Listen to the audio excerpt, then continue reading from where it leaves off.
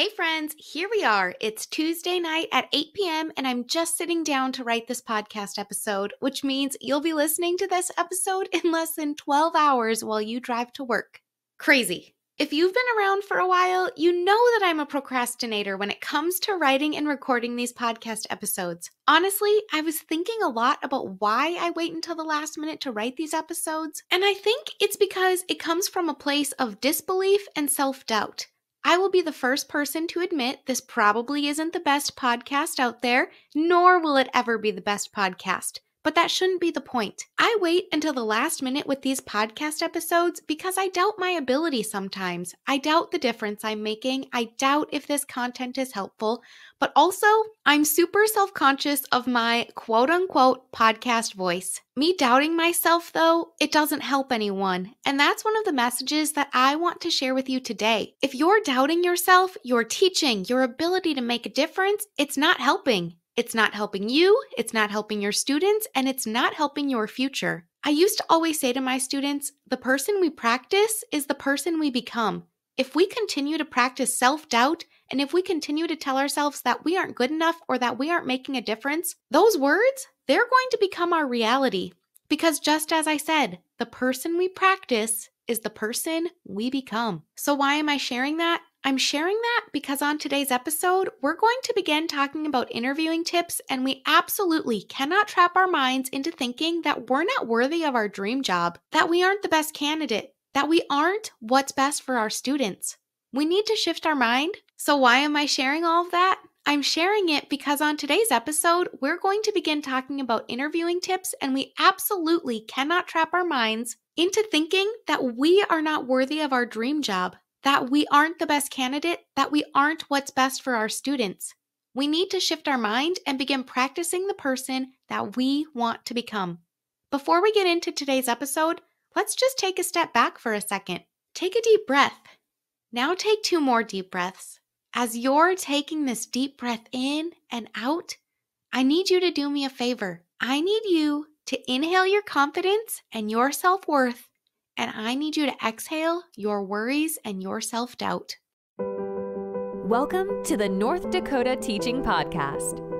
Whether you're a first year teacher, veteran teacher, or just a mom trying to gain some new insights, you are right where you are meant to be.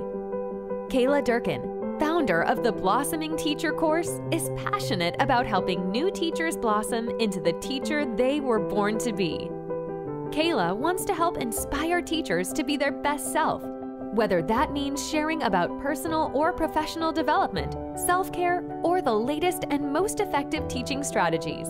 Through this podcast, you will hear from real teachers sharing their stories about teaching, all with one main goal in mind to be able to make an impact and help other teachers blossom. And with that, here is your host, Kayla Durkin. If you saw my stories on Instagram yesterday, you'll know I spent about 45 minutes recording and editing what I thought was a pretty dang good reel. And if you've ever made a reel on Instagram, you know that they're a pain. Anyway, I typed out my captions, I timed them perfectly with the music, I typed out my main caption, I posted that baby, and none of the words showed up. 45 minutes wasted. I sat there in disbelief for a second, and then I remembered something that's so simple, yet so profound. You know what it was? I remembered that I need to focus on what I can control. I can't control that I just wasted 45 minutes of my life, but I can control how I move forward. I had a choice to make, and I wasn't about to let my choice result in even more time wasted. Student teachers, say it with me. I need to focus on what I can control. Ready? Let's say it again. I need to focus on what I can control. We can't control when the new teaching jobs will be listed. We can't control how long it will take for them to review our applications. We can't control if they will call us to interview or if they'll decide to hire us. We can't control any of those things. However, I have a whole list of things that you can control. You can control the type of effort that you put into your interview prep. You can control the amount of applications that you put out into the world. You can control what schools you apply to, which jobs you apply for, and the amount of time that you put into researching each school and district. There are always going to be things that we can't control that take us away from our main agenda, but we get to choose how we move forward. As we begin talking about interview prep today, I just want to remind you that you are the star of the show during your interview. You get to control your mind, your actions, and your words. As you begin this prep work, please remember to inhale your confidence and exhale your self doubt. I truly believe that you can do whatever you set your mind to because you are in control of your choices, your drive, and your determination. So let's do this. Let's talk about interview prep. This is it. You've been working so hard for the past four years, and it's time to shine. Today's episode will be part one of this two part series, and today we're focusing all about interviewing the school that you're applying to. Did you know that? Did you know that you're interviewing the school just as much as they're interviewing you? As you're searching for jobs and looking for places to put in your application, I want you to spend time learning about the schools that you're applying to. Can you go on their website or Facebook page and do some digging? Can you reach out to the people who have taught there before? If so, spend some time asking them about their administration support. Ask them about their teammates. Ask them what makes them love their job. Ask them what makes them proud of their school and what makes their school so special. Really, just ask them anything that gets them to open up about their experience in that building. You'll know pretty quickly how they feel and if they would recommend the school to you. You can ask them about their culture, about the support that they are getting, about what's provided to them. Ask them about how much time they get off. Ask them what happens if they're sick. Ask them about their teammates. Just really ask them any questions that you have. So let's say you did this research, you were able to get some information on these schools, and you were like, yep, this is where I want to teach. So you sent in your applications and they called you back for an interview. Yay! I'm so happy for you. However, now that you've got the interview, this doesn't mean you're done interviewing the school. Picture this it's interviewing day, you just arrived to the school about 15 minutes early, you've parked your car, and you're walking in. Of course, this is their very first impression of you, but remember, this is also your very first impression of them. Pay attention. How did they greet you? Did you feel welcomed and included? Are they already treating you like one of their own? Or was it the opposite? Do you feel out of place? Do you feel like you're intruding? By this point, someone's probably picking you up from the office to take you to meet the interviewing committee, and on your way, they're probably going to give you a tour of the school. And this, my friends, is a very important part of the interview that you're doing. As you're walking around and getting your tour, pay very close attention to what you see. Don't psych yourself out, but pay attention to what you're seeing in the classrooms. Are the teachers energetic and full of life? Do they look like people you could be friends with? Or are they sitting at their desks while their students work? If you go past a group of teachers in the hallway, are they friendly and chatty? Or do they give you the cold shoulder? Does the person who's giving you the tour seem proud of their school? Are they making you feel right at home? Or does it seem like they're just going through the motions? During this time, I really want you to be in tune to the climate and the culture of the school. So let's just take a pause for a minute. I want you to think about your most favorite store or your favorite coffee shop or your favorite restaurant, and I want you to think why do you love it? Do you love the way you feel when you walk in the doors? Do you love the way you feel when people talk to you while you're there? Do you love the service? What is it about those stores that you love? My admin always said that our school should feel like the Scheels or the Starbucks experience for every single person who comes through our doors. At both Scheels and Starbucks, the employees always made us feel like one of their own. They always greet us with a smile. They treat us like we're the most important people in the building. And that's how you should feel during your interview because you want to be at a school who makes every single person, every single student, every single grown up feel like they are part of the team. By this point in your journey, we should have made it to the actual interview itself, but don't forget, as nervous as you might be to answer their questions, you're still interviewing them. How do the employees on the interviewing committee interact? Do they seem like people you could get along with and work right alongside as you begin your first year of teaching? Do they seem like people you could problem solve with, you could help students with, that you can make a difference with? And most importantly, how does the administration seem? Do they seem fun? Do they seem friendly? Do they seem supportive?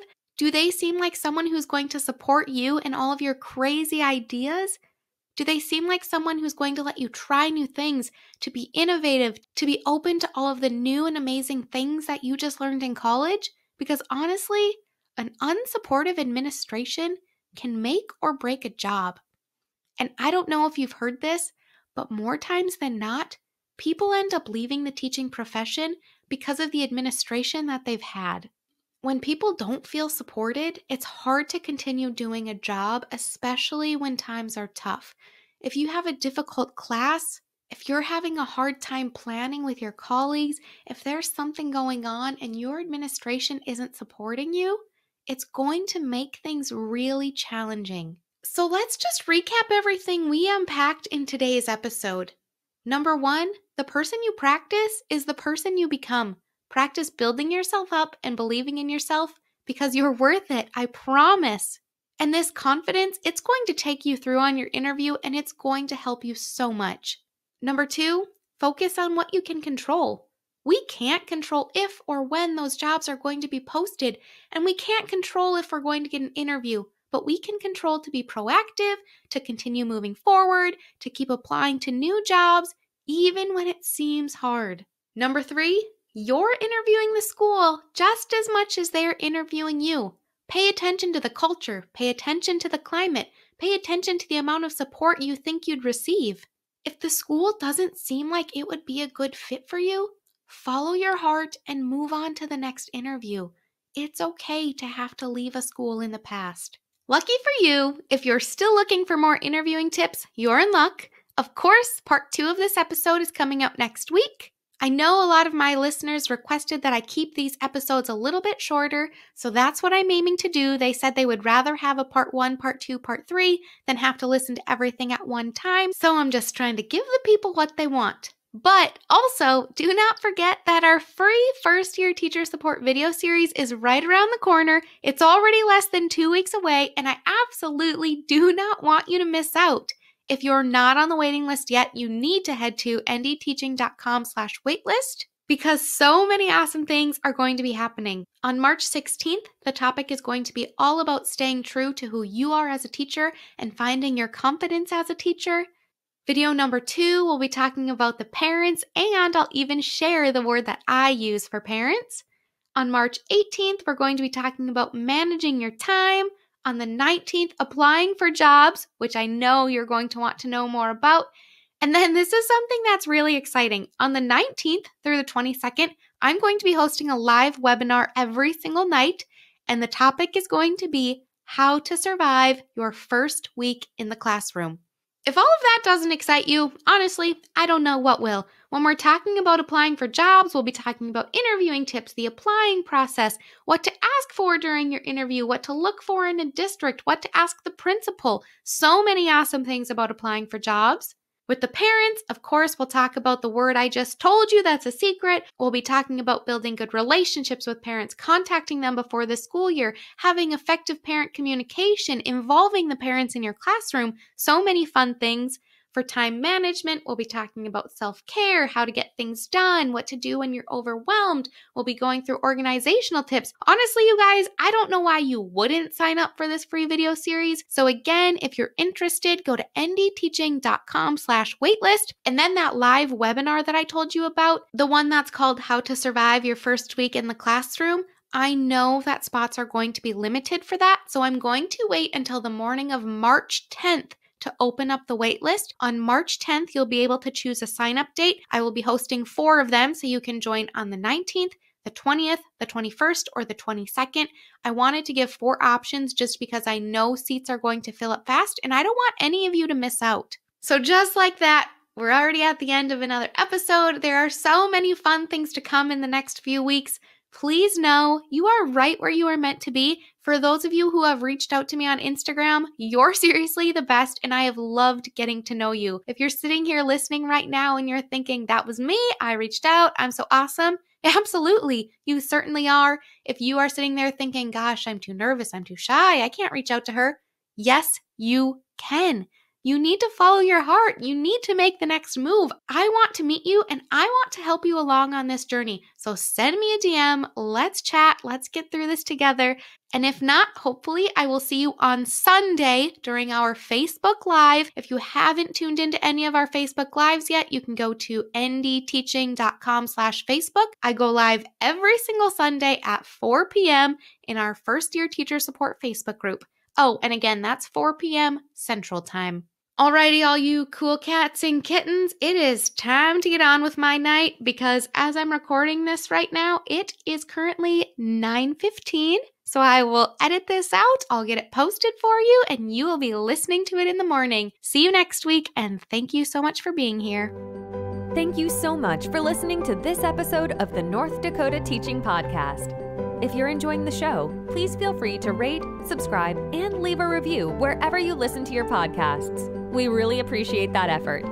Be sure to tune in to the next episode for more teaching tips to make an impact.